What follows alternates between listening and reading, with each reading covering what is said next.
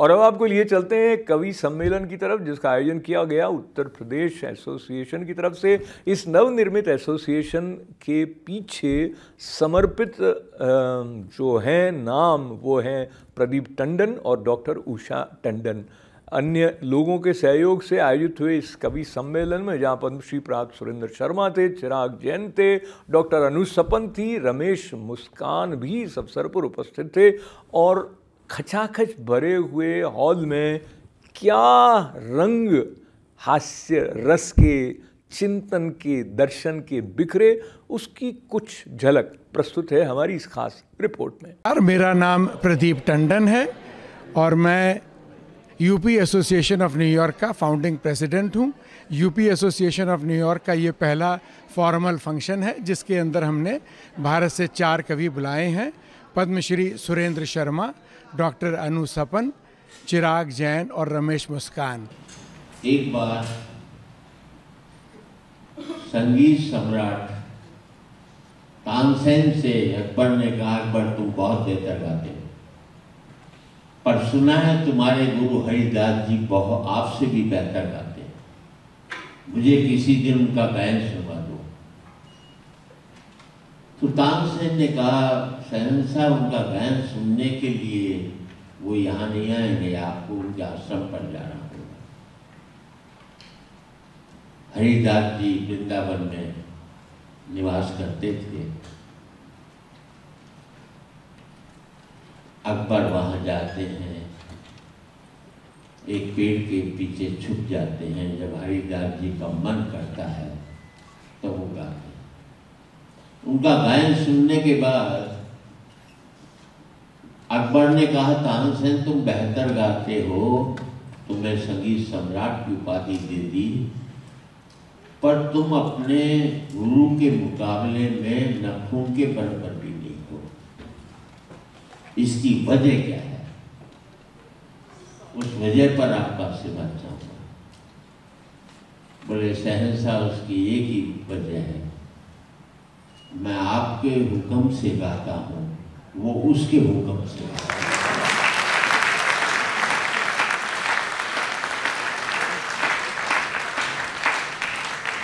उसके हुक्म से जब गाया जाता है, तब बेहतर गाया जाता है। मैंने पचास साल के, साठ साल के कवि मंच में इतना ही देखा है, जो पैसा कम मिलता था। तो गायक लोग मन से गाते थे। पैसा ज़्यादा मिलने लगा तो मुँह से गाने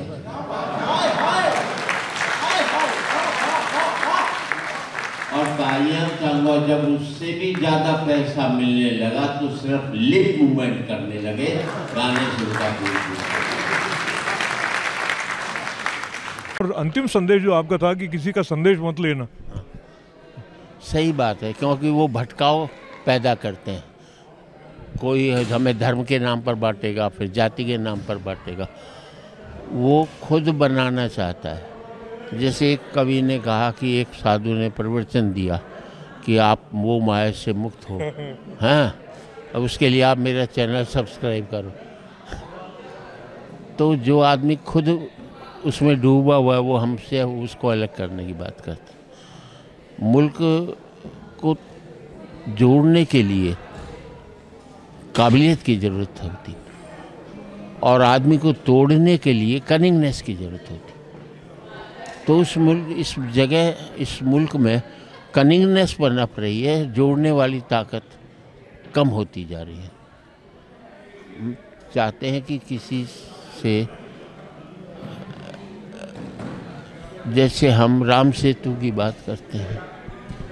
मैं कहता हूँ, छोटी इकाई की बात करो। भाई भाई के बीच में जो सेतु टूट रहा है, वो कैसे जोड़ा जाए? आज मुझे मेरी दो कारें सुख नहीं देती।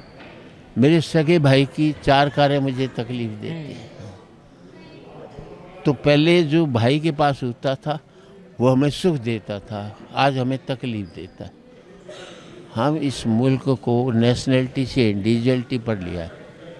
इंडिविजुअल से नेशनलिटी पर कैसे लाए वो जानने की ज़रूरत होती। है मुझे लगता है उस दिशा में जब आप सुरेंद्र शर्मा जी को सुनते हैं एक तो आपकी उपस्थिति में ये कहना कि आप अठहत्तर बरस के हो गए हैं लोग विश्वास नहीं करेंगे तो इसलिए मैंने कहा आप मना नहीं कर रहे ना?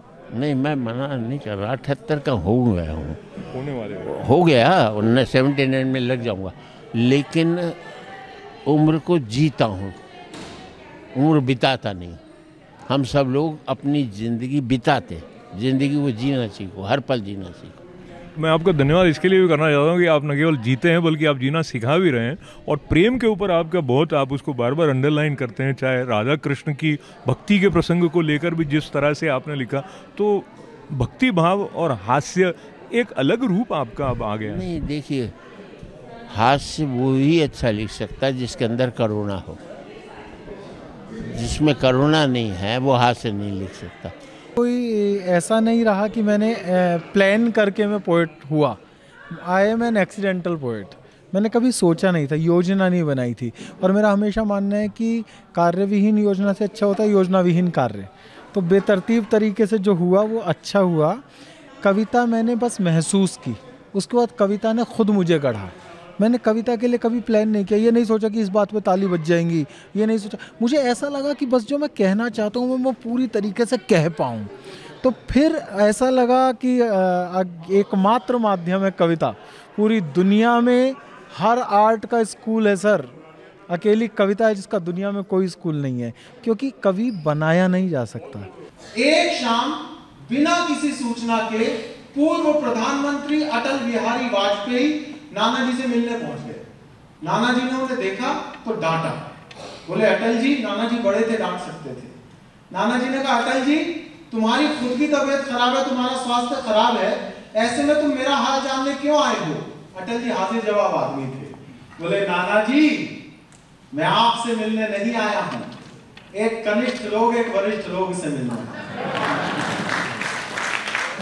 लेकिन नाना जी ने अपनी सफ़ेद मूंछों में अपनी हँसी दबा ली। और फिर कृत्रिम क्रोध दिखाते हुए बोला कि अटल जी, तुम्हारी तबीयत खराब है, मेरी तबीयत खराब है, तुम्हारी सरकार चली गई है, देश में प्रधानमंत्री बनाने को कोई आदमी नहीं मिल रहा, इन तनाव भरी परिस्थितियों में तुम हंस कैसे लेते हो? अटल जी ने जो जवाब दिया, वो इस कवि सम्मेलन की भूमिका है। अटल जी से नाना जी ने कहा कि अटल जी, इन तनाव भरी परिस्थितियों में तुम हंस कैसे लेते हो, मुस्कुरा कैसे लेते हो? अटल जी बोले नाना जी तनाव से सिर्फ़ समस्याएँ जन्म ले सकती हैं। समाधान खोजने हैं तो मुस्कुराना ही वो कंप्यूटर युगी छोरी वो कंप्यूटर युगी छोरी मन की काली तन की गोरी। किंच तो अपनी बाहों का गलहार नहीं दे पाऊँगा। करना मुझको माफ़ मैं तुमको प्यार नहीं दे पाऊँगा। यू कंप्यूटर बहुत छोरी क्यों नहीं दे पाऊँगा तक सुनी लगती मैं संस्कार का चैनल हूँ सी लगती मैं संस्कार का चैनल हूँ वाटर की बोतल में गंगा का पावन हूँ, तुम करो गाड़ियों की मांगे में पाँव पाँव चलने वाला, तुम हेलोजन सी जलती हो मैं दीपक सा जलने वाला तो चमक दमक वाला तुमको संसार नहीं दे पाऊँगा करना मुझको माफ़ तुमको प्यार नहीं दे पाऊँगा आईटीवी गोल्ड के दर्शकों को बहुत बहुत शुभकामनाएँ और एक व्यंग छड़का मैं सुना देता हूँ।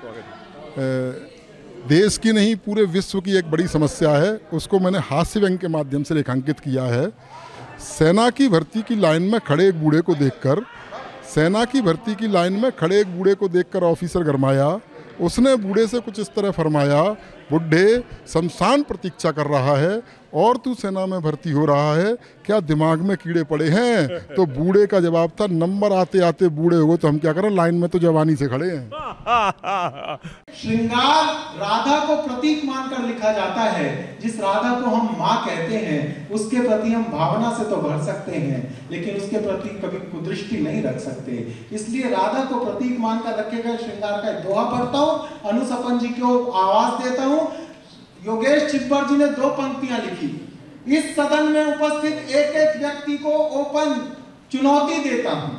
इन दो पंक्तियों को सुनते हुए अपनी तमाम इंद्रियों को जागृत रखिएगा। इन दो पंक्तियों में वो सब कुछ हो गया जो प्रेम में होता है। लेकिन इन दो पंक्तियों को सुनते हुए एक क्षण के लिए भी अगर आपकी आँखें नीची हो तो मुझे टोक दीजिएगा। मैं योगेश चिब्बर जी का दोहा पढ़ता हूँ, अनुज जी को बुलाता हूँ कि एक पहर ठहरी सखी। कान्हा जी के ठोर एक पहर एक पहर ठहरी सखी कान्हा जी के ठोर पहुँची कोई और थी लौटी कोई और। रात दिन मोह पाश होते हैं। प्रेम की